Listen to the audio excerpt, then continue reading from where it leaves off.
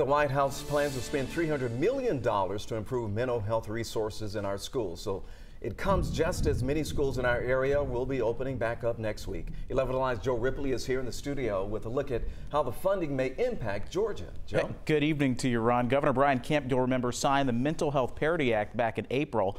The law now in effect eases access to mental health care here in Georgia. The state also devoted millions of dollars to mental health care in the latest budget, and now more funding could bring much needed resources to the classroom. Georgia's school based mental health program, APEX, works with more than 700 schools statewide.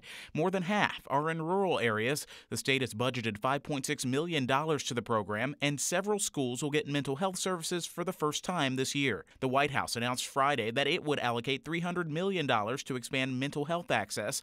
140 million will go to develop a pipeline for mental health professionals and school focused training. Another $140 million will go to increase the number of mental health providers in schools schools. This funding opportunity, I think, is going to help school districts.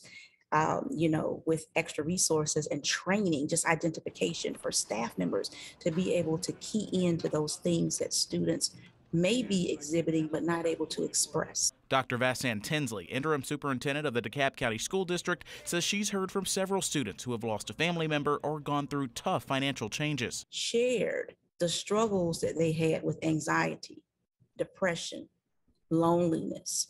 And, you know, the group of students that graduated last year, that was the group that actually that their schooling was stopped abruptly. The CDC reports more than 40% of teens say they struggle with persistent feelings of sadness, and the American Psychiatric Association found more than half of parents have concern over their child's mental well being.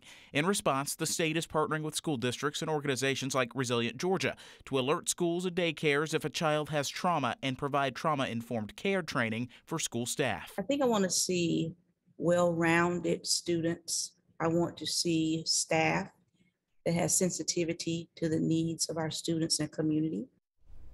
And coming up at 6, more on the connection between addressing mental health among students and staff, as well as students making better grades in the classroom. All right.